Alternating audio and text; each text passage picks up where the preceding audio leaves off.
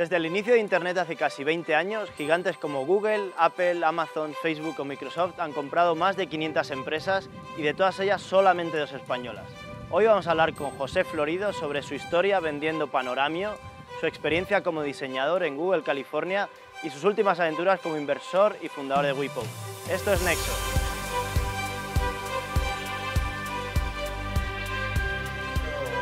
Estáis en Google, mujer también trabajaba en Google en esa época, Ana, y de repente hacéis tener la vida ideal, ¿no? Los dos, en San Francisco, trabajo en Google, sueldo bueno, vida feliz, y decidir dejar Google Ajá. para meteros en un proyecto que no existe, que no hay clientes, que no...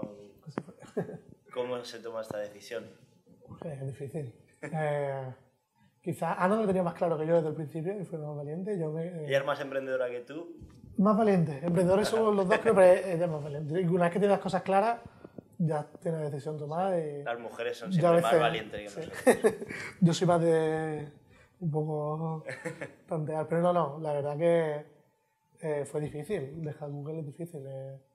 Ah, nadie te entiende, como estás loco, Sí. cómo dejas Google, tal. No tiene una excusa, tú dices, no, es que trabajo muchísimo, estoy puteadísimo, no no, no tiene...